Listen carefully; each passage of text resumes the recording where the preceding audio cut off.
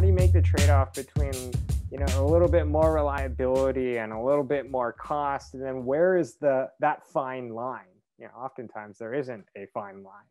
So i guess the question to you nate is like do you have any tips recommendations to our listeners uh, on how to make that trade-off? And also how to get the team behind you and how to get leadership uh, bought into the, these trade-offs a common uh, tool that I use, it, it's RCM, Reliability Center Maintenance. It's a structured approach on how to go about making those trade-offs. There's a lot of books on it. One is written by John Moubray. It's called RCM2, very foundational for, for listeners that are new to this space. Uh, but just some, some key things out there when, when you're looking at optimizing a maintenance program, you want to make sure that the right skill level is, is working the task.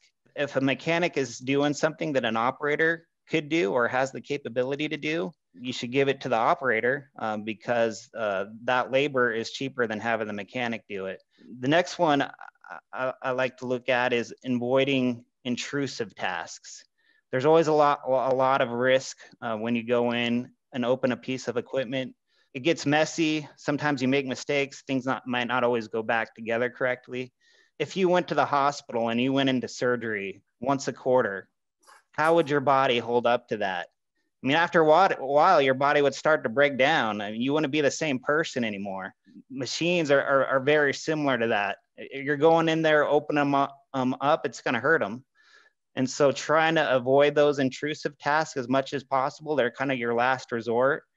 And if there's things that you're looking for, trying to find things that uh that that you can monitor those through condition monitoring or predictive maintenance techniques or instrumentation. Uh, number three is uh, PM findings is a very good one. So oftentimes we, we're going out, we're executing PMs, but if we're not getting a lot of findings on those PMs, how useful are they really? And there's a common rule in the M&R space, the, the six to one ratio. Uh, usually a good PM, you should be getting one finding for every six of those tasks. You've done seven PMs and you've had no findings on that particular task that's an opportunity to extend the frequency of that or possibly eliminate it.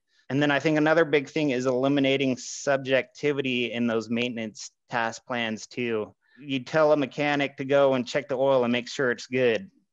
What is good? You ask 10 mechanics what good is, they may all give you a different answer, but you got to be very specific on what good is. Is it the oil is between 75 to 100% of the gauge? Is that good?